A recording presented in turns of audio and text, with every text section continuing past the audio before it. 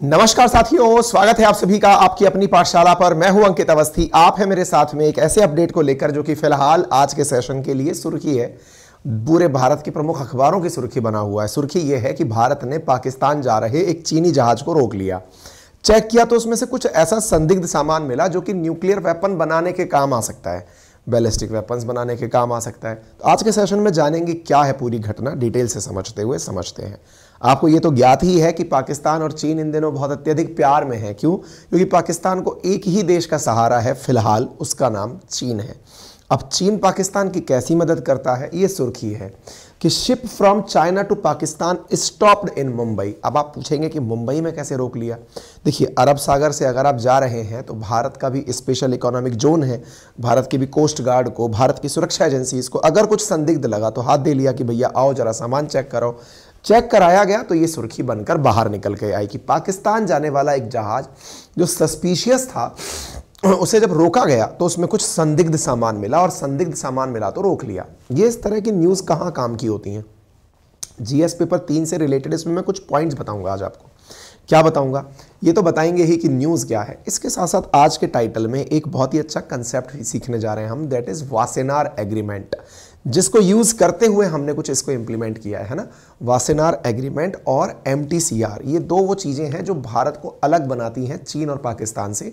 क्योंकि हमने जब इनमें एंट्री ली थी, उसी के बाद हमें ये राइट मिला था कि हम दुनिया के इस प्रकार के ट्रेड में अपन इंटरफेयर कर सकते हैं। समझेंगे आप इस पूरी कहानी को? तो फ़िलहाल के लिए ये इंपॉर्टेंट है सिक्योरिटी परस्पेक्टिव से साइंस एंड टेक्नोलॉजी के परस्पेक्टिव से पेपर थ्री के पॉइंट ऑफ़ व्यू से। जहाज़ की बात हो रही है। कैसा जहाज़ था? कार्गो शिप था। कार्गो शिप बोले तो जो माल ले जाके जा रहा हो अपने साथ तो कुछ ऐसा कोई कार्गो शिप रहा होगा। जा कहाँ से रहा था? तो चीन के शंघाई से निकल करके पाकिस्तान के कराची एयरपोर्ट तक जा रहा था। अब जब आप इधर से निकलोगे तो हमारे आसपास से निकलोगे। तो जब निकल रहे होंगे तो हमारी जाँच एजेंसी को रास्ता दिख गया कि बेटा जरा इधर आओ। तो यहाँ पर नावा शिपा में इसको रोक करके खड़ा कर लिया गया, ठीक है?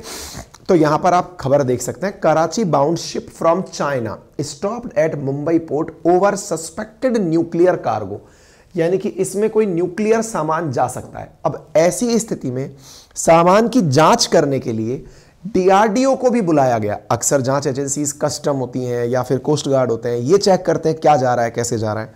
या डीआरडीओ के साइंटिस्ट को बुलाया गया कि, जरा चेक करिए जनाब, क्या ये सामान कुछ संदिग्ध है क्या?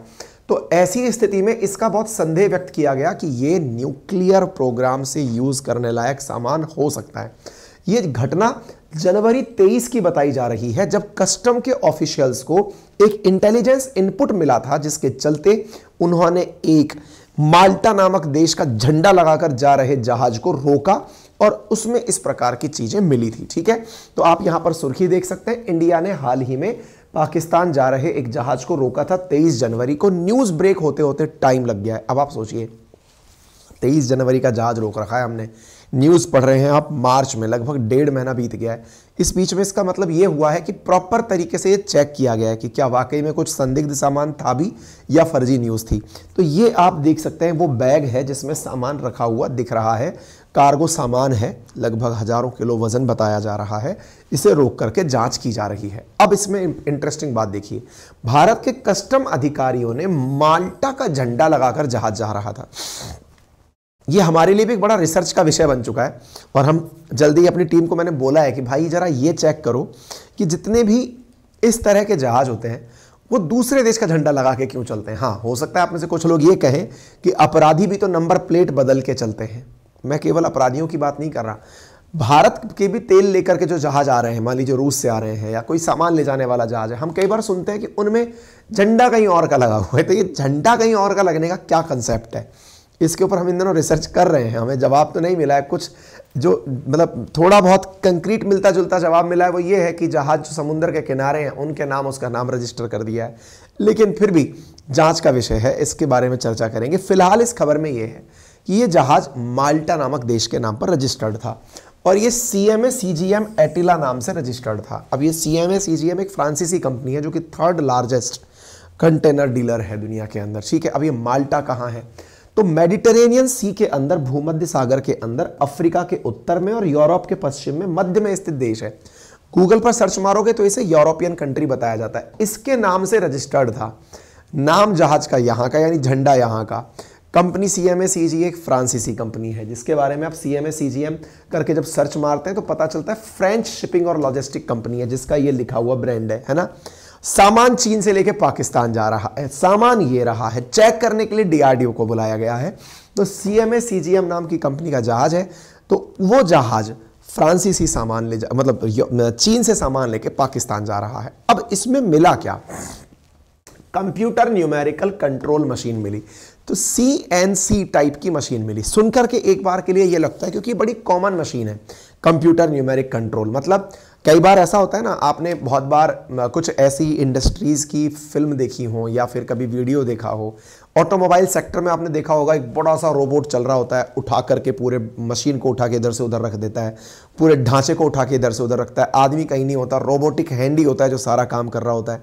तो असल मायने में, कंप्यूटर जब अपने अंदर प्रोग्राम डाल देते हैं, कंप्यूटर के अंदर आपने कुछ डिजिट्स डाली, कंप्यूटर उसी के अनुरूप सारे काम प्रोड्यूस कर रहा होता है। तो जिन मशीनों के माध्यम से कंप्यूटर के डेटा फ़ीड करके, कंप्यूटर के थ्रू मशीनों को ऑपरेट कराया जाता है, उन्हें कंप्यूटर न्यूमेरिकल कंट्रोल मशीन्स कहा जाता है। कुछ ऐसी ही एक मशीन यहाँ मिली थी। यानी फिर से समझिए, अगर एक बोल्ट बनाने की मशीन भी हो तो वो भी सीएनसी मशीन हो सकती है, कंप्यूटर न्यूमेरिकल कंट्रोल मशीन हो सकती है। यहाँ पर भी एक सीएनसी मशीन पाई गई है, लेकिन वो सीएनसी मशीन न्यूक्लियर वेपन बनाने के काम में आ सकती है। ये संदिग्ध मशीन है, तभी डीआरडीओ वालों को बुला करके चेक करा गया। तो यहाँ पर जो सीएनसी मशीन है अच्छा एक इंटरेस्टिंग बात और मैं आपको बताता हूँ। सीएनसी मशीन कितनी संदिग्ध है, इसका अंदाज़ा इससे लगाइए कि जो कंप्यूटर न्यूमेरिकली कंट्रोल्ड मशीन है नॉर्थ कोरिया को दिया जाना प्रतिबंधित था। नॉर्थ कोरिया ने इसी के दम पर न्यूक्लियर वेपन बना लिया। खुद की पंद्रह हज़ार से ज़्यादा न्यूक्लियर मशीन मतलब न्यूमेरिकल मशीन बनाकर नॉर्थ कोरिया बैठा हुआ है और उसी से उसने अपने यहाँ पर न्यूक्लियर वेपन बनाए थे। तो सीएनसी मशीन डुअल पर्पज़ की है। जैसे मैंने अभी कहा कि आप उनके थ्रू बोल्ट भी बना सकते हैं, स्क्रू भी बना सकते हैं और आप उनसे न्यूक्लियर बॉम्ब तक का भी काम करवा सकते हैं। ऐसी चीज़ें जिनका डुअल यूज़ हो सकता है उनके ट्रांसपोर्ट पर प्रतिबंध है और हमारा इंटरनेट बफर कर रहा है। करना तो नहीं चाहिए था।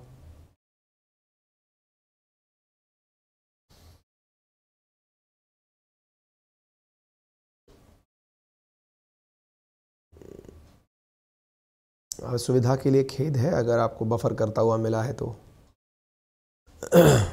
ठीक है।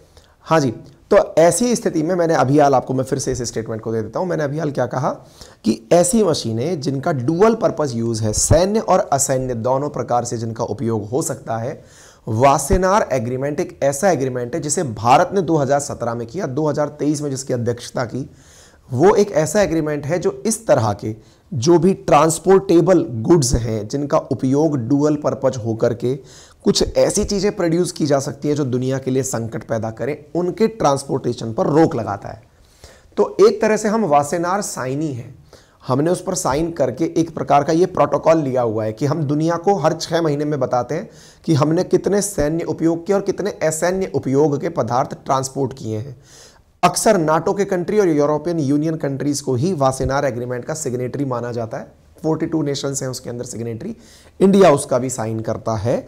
ऐसी स्थिति में भारत इस चीज़ के ऊपर बहुत ज़्यादा कॉन्शियस था कि इसमें कौन क्या सामान ले जा रहा है, ठीक है?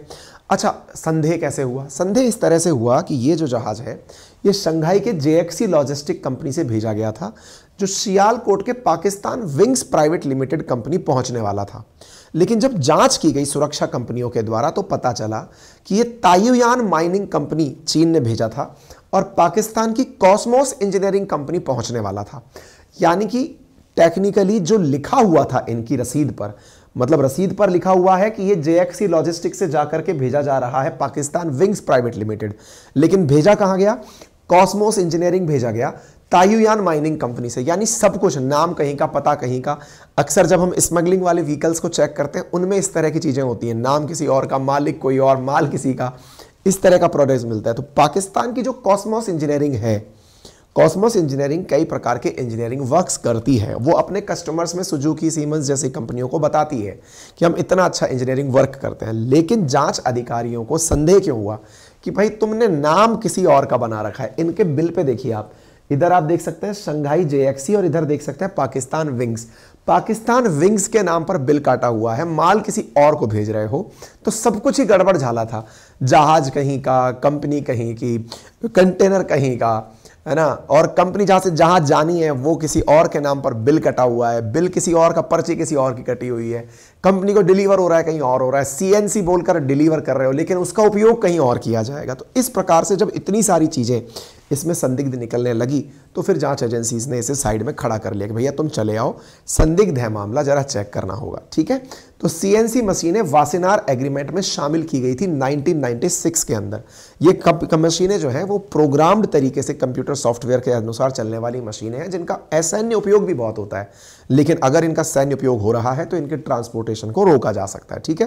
तो वासेनार एग्रीमेंट जो हेग, नीदरलैंड के अंदर किया गया था, उन्नीस के अंदर, भारत उसका एक सिग्नेटरी कंट्री है।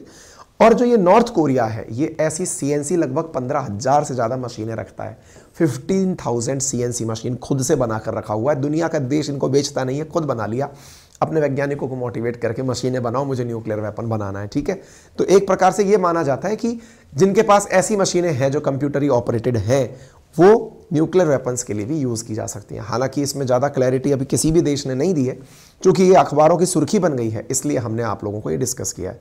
तो क्या इसका उपयोग नॉर्थ कोरिया पर करने नॉर्थ कोरिया जब यूज़ करता है तो क्या उसको प्रतिबंध नहीं करता क्या अमेरिका करता है? भाई को कोई फ़र्क नहीं पड़ता है। कितना भी सेंक्शन कर लो, पूरी तरह से क्लोज इकोनॉमी बनकर बैठा है कि बोले भूखे प्यासे मर लेंगे, लेकिन न्यूक्लियर बॉम्ब बनाकर रहेंगे, ठीक है? क्या ये भारत ने पहली बार ऐसा किया? नहीं। भारत पहले भी चीन के जहाज़ों को ऐसे रोकता रहा है चेक करता रहा है, संदिग्ध मिलने पर उनको चेक करता रहा है। तो आप इधर देख सकते हैं 2020 की भारत ने पहले भी गुजरात के अंदर एक चाइनीज़ शिप को ऐसे ही डिटेन किया था। तो ये कोई बड़ी बात नहीं है, चीज़ें चेक होती रहती हैं और बात में पता चलती रहती हैं। टेंशन तब होती है जब कुछ ऐसी चीज़ें मिलें जो दुनिया के लिए बहुत ही नुकसानदायक सिद्ध हों, ठीक है? बाकी पाकिस्तान चीन का प्रेम तो किसी से छिपा है नहीं, चाइना के कर्ज में डूबा हुआ है, पाकिस्तान तो इससे बम क्या ये कुछ भी ले ले। बाकी आप इस विषय पर क्या सोचते हैं, कमेंट बॉक्स में ज़रूर बताएँ। चैनल पर नए हैं तो सब्सक्राइब कर लें, फ़िलहाल के लिए इतना ही। बाकी अपने अन्य साथियों से भी कह करके, हमारा एक जो नया चैनल है, जिस पर जल्दी ही आपको क्लासेस मिलने वाली हैं, Apni Pathshala one day exam, उसे सब्सक्राइब कर लें, जहाँ पर पुलिस, रेलवे एसएससी तमाम क्लासेस आपको मिलना शुरू हो जाएँगी। बस, इस वीक में एट मैक्स ठीक है? बाकी सभी साथी कमर कस लें। जो भी यूपी पीसीएस की तैयारी कर रहे हैं आर ओ आर ओ की तैयारी कर रहे हैं यूपी यूपी पुलिस की तैयारी कर रहे हैं, अब सबको, क्योंकि पेपर पोस्टपोन हो गया है, वापस से तैयारी करने के लिए गियर अप करने की आवश्यकता है, क्योंकि आपने, अपने लिए, क्योंकि पेपर की डेट वापस आएँगी, अब छः महीने के अंदर परीक्षाएँ होंगी तो एकदम टारगेटेड होकर पढ़ाई करिए, बेहतरीन कोर्स का तैयार करिए, और अपनी पाठशाला टीम और हमने नए फैकल्टीज़ भी ले लिए हैं, पूरी तरह से रिक्रूटमेंट ड्राइव के थ्रू वो भी आपसे जल्दी ही मिलेंगे और बहुत अच्छे से आपका काम करा जाएगा। ठीक है ना? बीपीएससी वगैरह सबकी क्लासेस अपने द्वारा चल रही हैं। गाजा अपडेट देंगे। गाजा का अपडेट है उसमें। इसराइल ने हाल ही में लगभग सवा सौ लोगों के ऊपर गोलियाँ चलाई हैं। देंगे उसका भी अपडेट जो लोग जानना चाह रहे हैं। ठीक है? थैंक यू सो मच अपना ख्याल रखें। चैनल को सब्सक्राइब कर लें। बाय